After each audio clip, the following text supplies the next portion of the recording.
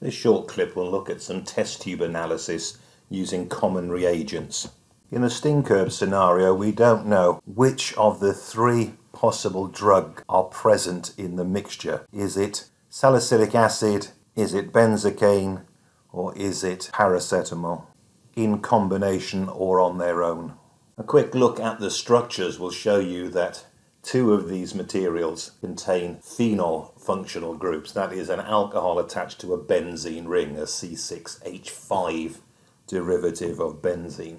One of these materials is a carboxylic acid, therefore will exhibit organic acid properties, so acidic properties. So the first thing to do is dissolve up a small amount of our mixture in a suitable solvent and shake until it is dissolved. If you add some iron 3 chloride solution to a phenol containing molecule, you'll get a purple coloration due to complex ion formation. Only phenols do this. Two of our drug structures show this characteristic grouping.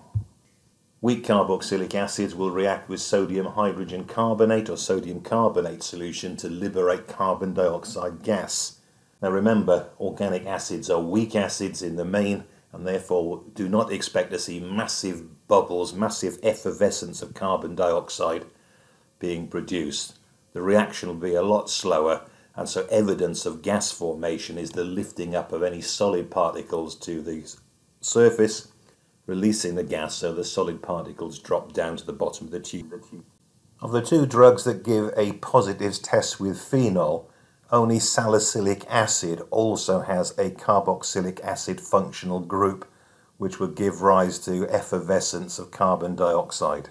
What we can't tell is if there is benzocaine in the mixture, so we're going to need to run a TLC to find this out in the next section. Remember to dispose of all chemicals when complete in the appropriate way.